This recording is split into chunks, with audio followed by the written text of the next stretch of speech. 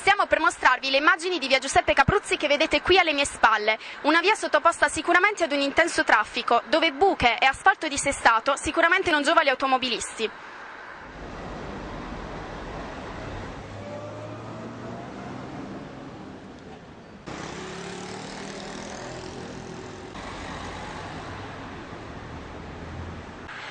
Come potete vedere dalle nostre immagini, le condizioni di questa strada non permettono una corrente affluenza delle automobili.